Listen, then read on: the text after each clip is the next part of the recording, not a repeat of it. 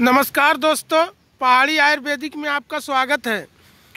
आज मैं आपको एक ऐसे पेड़ का दर्शन करा रहा हूँ, पौधे के दर्शन करा रहा हूँ, जिसका आयु उम्र हज़ारों साल तक रहता है। यह ऐसा पेड़ है, वृक्ष है, जो हज़ारों साल तक सड़ता नहीं, गिरता नहीं, टूटता नहीं है। इसके जड़ लोहे के समान जैसे लोहा होता है, उसी तरीके से इसका जड़ होता है। लेकिन यह बड़ा वृक्ष नहीं है, छोटा पौधा है। मैं इस इस पौधे के वृक्ष के बारे में आपको बताऊँगा और पौधा दिखाऊँगा। तो दोस्तों, इस पौधे का नाम है खिरनी। आप नाम सुने होंगे, खिरनी का पौधा है, लेकिन यह अभी वृक्ष बना हुआ नहीं है। तो इसका वृक्ष करीबन 50 से 60 फुट ऊँचा तक पाया जाता है। पूरे भारतवर्ष में इसे पाया जाता है।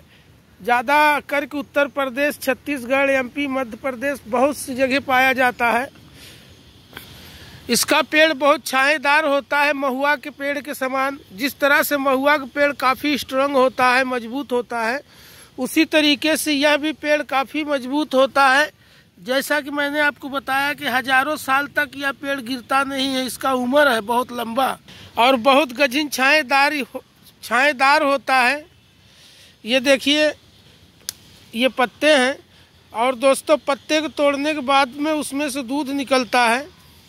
तो मैंने बताया कि पत्तों को तोड़ने के बाद दूध निकलता है, पत्ता ही नहीं, इसके किसी भी हिस्से को तोड़ोगे तो उसमें से दूध निकलता है। ये देखिए, या जड़, या पाला, या डंटल, कोई भी हिस्सा तोड़ने पर दूध निकलता है। तो दोस्तों, देख लीजिए, पहचान लीजिए, यह छोटा पौधा है। तो दोस्तों, इसका फल जो है, नीम के फल के समान होता है। अभी तो बहुत छोटा पौधा लगा नहीं है। और खाने में गुड़ से भी ज़्यादा मीठा होता है। इसलिए इसका फल जो है, इतना मीठा होता है कि बहुत जल्दी इसका फल जो है ख़राब हो जाता है, कीड़े लग जाते हैं। बरसात की पहली बूंद पड़ते ही फल पकता है और कुछ बारिश होते होते इसका फल सड़ जाता है, बेकार हो जाता है। लेकिन हाँ दोस्तों, यह बहुत ही प्रसिद्ध फल है। राजा महाराजा इसे खाते थे। यह मार्केट में बहुत ही महँगा बिकता है। इसे बहुत से कम ही लोग खा पाते हैं, क्योंकि ज़्यादा टाइम तक यह मार्केट में उपलब्ध नहीं रह पाता है। तो दोस्तों, यह भी आयुर्वेदिक जड़ी बूटियों में काफ़ी फ़ायदेमंद है। इसे बहुत सारे आयुर्वेदिक दवाओं में इस्तेमाल किया जाता है, उपयोग किया जाता है।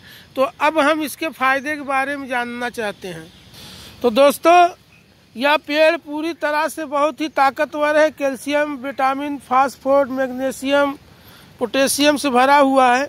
इस पत्ते को आप ले जाकर, सुखाकर इसका पाउडर बना लीजिए और पाँच ग्राम सुबह, पाँच ग्राम शाम को दूध के साथ पीजिए। शरीर के अंदर भरपूर ताकत आएगा। शरीर बलवान हो जाएगा। और हाँ दोस्तों, अगर इसके दूध को किसी कटोरे में जमा करके धूप में सुखा लिया जाए और फिर सुखाने के बाद उस दूध को पीस कर पाउडर बना लिया जाए, उस दूध की मात्रा है एक ग्राम, सुबह एक ग्राम, शाम को अगर शहद के साथ खाया जाए तो शरीर के अंदर रक्त की वृद्धि होती है। रक्त बढ़ता है बहुत तेज़ी से। और हाँ दोस्तों, जिन्हें डायबिटीज़ शुगर है, अगर वह इसके पत्ते का काढ़ा बनाकर रोज करीबन 20 ग्राम पिए तो उसका डायबिटीज़ शुगर जो है, जड़ से कंट्रोल हो जाएगा। और अगर चेहरे में छाई है, धब्बा है, दाग है तो आप इसके पत्ते को पीस कर चटनी बना लीजिए। और थोड़ा सा शहद मिलाकर पूरे चेहरे पर लेप कीजिए तो आपका चेहरा जो है चमकने लगेगा। तो दोस्तों, आज की महत्वपूर्ण जानकारी बस इतनी ही थी। अगर हमारी जानकारी आपको पसंद आई हो तो हमारे चैनल को लाइक कीजिए, शेयर कीजिए। पहाड़ी आयुर्वेदिक।